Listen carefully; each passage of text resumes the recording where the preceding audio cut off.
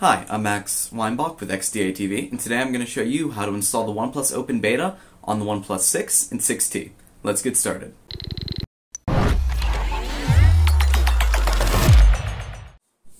So this is the OnePlus 6T, or OnePlus 6, not the 6T, has a fingerprint scanner on the back and headphone jack.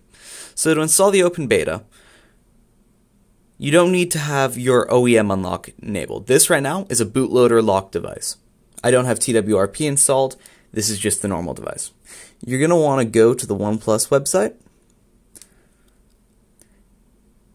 Go all the way down to the bottom of the page where it says support, then go to software upgrade.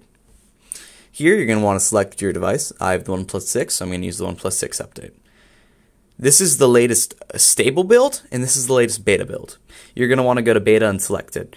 At the time of filming this, Open Beta 10 is the latest one available. So I'm just going to download that. I'm just going to put this down. Then once this is downloaded, I'll be back.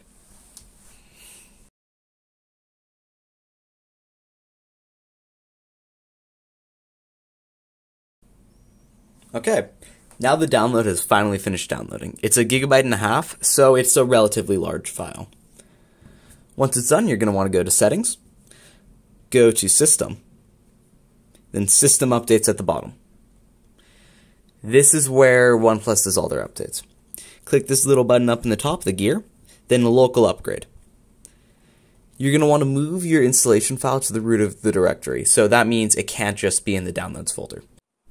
Before you can actually update it uh, with the file you just downloaded, you're going to need to move the download from the downloads folder over to the root of the directory, which is just the internal storage. You can use the built-in file manager like I did to do that.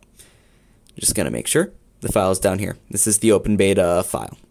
Once that's done, you can go into settings, all the way at the bottom, go to system, system updates, click this little icon up here, the gear, then local upgrade.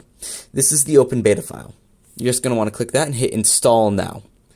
This won't wipe your data, uh, if your totally bootloader locks in stock, but you should make a backup anyways. Since my phone has nothing on it, I'm not going to make a backup. Then you're just going to hit install. Since this is an AB phone, uh, partition scale, you will not need to have to worry about the phone going through the big recovery process. It's just going to install it while the system's on, like this, and then once it's done, I reboot my phone and the update's already installed if you do install the open beta, it is a lot harder to get back to stable than it is to install it. It's a lot more of a process than this. You're going to have to downgrade and then re-upgrade, and that could wipe your data. So just be aware if you are upgrading to the open beta that you have you should make a backup. Betas aren't always perfectly stable, so you always want to have a backup. Okay? The update has finished installing on the uh, through AB updates. Now to install the update and just reboot, sorry, the update's already finished, just to reboot into the new update, just have to click reboot. The phone's going to restart, and once it restarts, it'll be on Open Beta 10.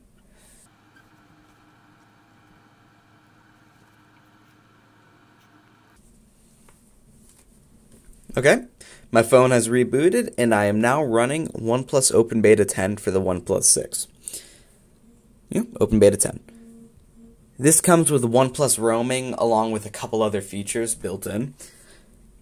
If you want to see more information on this, we have an article over on the XDA portal about this update, so you can go check that out.